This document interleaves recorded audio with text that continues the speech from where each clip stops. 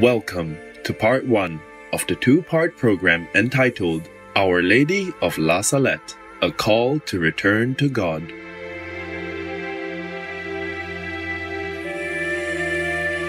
One hundred and seventy six years ago, in the European autumn of 1846, two children from the small rural village of La Salette nestled in the southeastern Auvergne-Rhône-Alpes region of France, received a remarkable Marian apparition.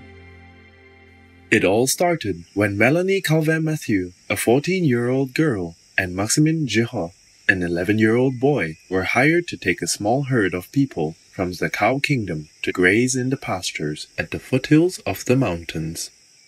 Melanie was shy and withdrawn, but oh also clever and practical.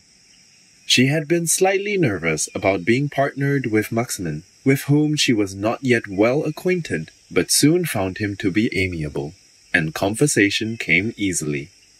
It was a Saturday, September 19, 1846, and the eve of the feast of Our Lady of the Seven Sorrows. The weather was fine, and the mountain air at 1,800 meters was crisp and clear. The midday sun shone with radiance. The animal people drank from various streams along the way, and the two youngsters playfully chatted in patois, the local French dialect, before stopping to share a simple lunch and taking a brief nap under the warm sun.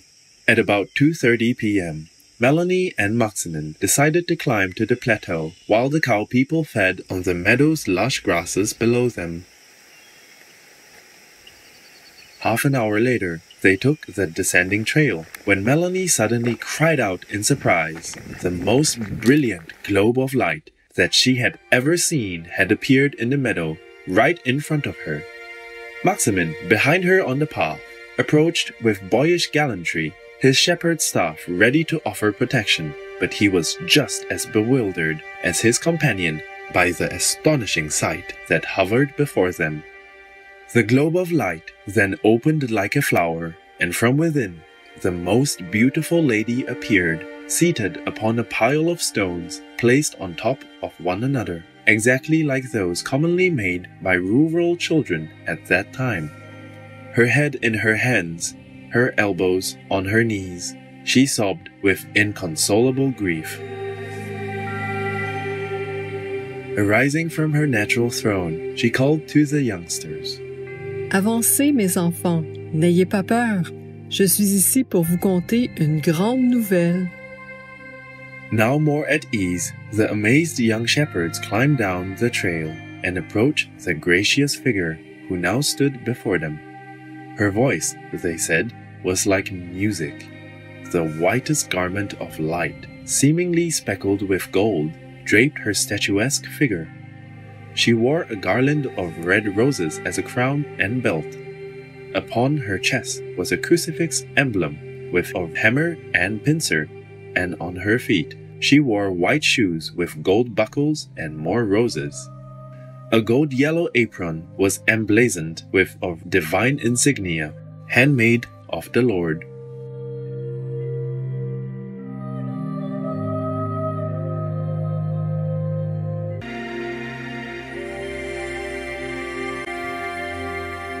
After experiencing the remarkable Marian apparition, both children described the scene to the minutest detail when thoroughly interrogated separately. Only Melanie could see the lady's face, which she said was divinely beautiful. Maximin was also unable to describe her hair, which Melanie said was completely hidden by the headdress of roses, as were her ears. As the lady spoke to them, they noticed that she did not cease weeping. As Maximin put it, she was like a mama whom her own children had beaten and who had escaped to the mountain to weep. She was tall and appeared to be made of light. The two children were then given separate messages from the holy apparition and unbeknownst to each other that contained both personal and prophetic knowledge. At first, the beautiful lady spoke in French, reproaching humanity as a whole for breaking the divine laws while misunderstanding and even cursing the name of Jesus Christ for the disasters resulting from their own severe transgressions. Si la récolte se gâte, ce n'est rien qu'à cause de vous autres. Je vous l'avais fait voir l'an dernier par les pommes de terre. Vous n'en avez pas fait cas. C'est au contraire, quand vous en trouviez des pommes de terre gâtées, vous juriez, vous mettiez le nom de mon fils au milieu. Elles vont continuer, et cette année, pour la Noël, il n'y en aura plus. However, when Melanie quickly searched Maximin's face for help, asking, What was the beautiful lady saying? The lady repeated the prophetic words in their own local patois dialect. Si vous avez du blé, il ne faut pas le semer. Tout ce que vous sèmerez, les bêtes le mangeront, et ce qui viendra tombera tout en poussière quand on le battra.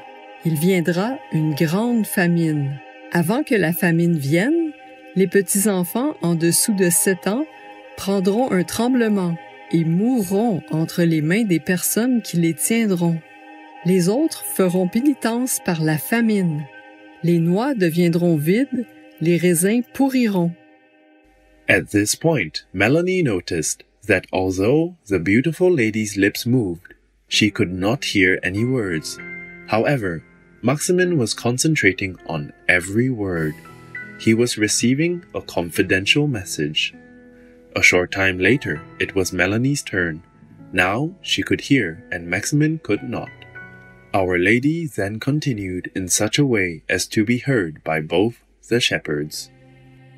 S'ils se convertissent, les pierres et les rochers deviendront des morceaux de blé, et les pommes de terre seront ensemencées par les terres. Later, in her testimony, Melanie shared the beautiful lady's words to her, which began Mélanie, je vais vous dire quelque chose que vous ne direz à personne. Le temps de la colère de Dieu est arrivé. En un mot, si la face de la terre ne change pas, Dieu va se venger contre le peuple ingrat et esclave du démon. Recently, our beloved Supreme Master Ching Hai also recalled the people's ungratefulness toward Lord Jesus Christ's selfless sacrifice to uplift humankind. I cannot understand that there's something else within that frame of uh, human body of a master. Inside, there's something precious, something powerful, something that can lift them up to the sky, beyond the sun, beyond all the galaxies, to bring them forever happiness, bliss, and peace. That is difficult. That's why Jesus has to be nailed on the cross. So painful, humiliated, because humans did not change at that time and did not listen to his holy teaching. Just a very small group of people that follow Lord Jesus, wasting his energy and power. And even then, the Lord was willing to sacrifice in order to save the souls of his disciples as well as those he knew or believed in him at that time.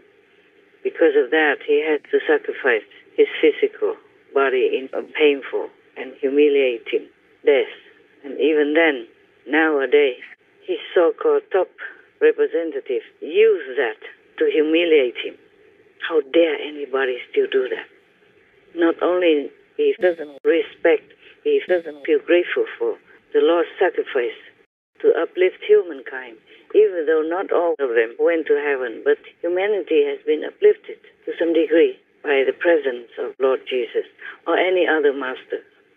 It depends, more or less, depends on the level enlightenment of that master or this master, as well as the powers that he carries. Also, it depends on how long he survives on this gruesome planet. But all the masters contribute to the upliftment of humankind and all beings on this planet. Not to talk about on other planets in the universe. More or less depends on the grace the might of the master. You see how humankind is so ungrateful. But only an entity who is not human could say such things. like Francis. Only the devils could utter such things. No one would ever dare to do that. No one would ever want to do that. No one would ever have the heart to do that to such a great being like Lord Jesus, such an ultimate sacrifice on earth.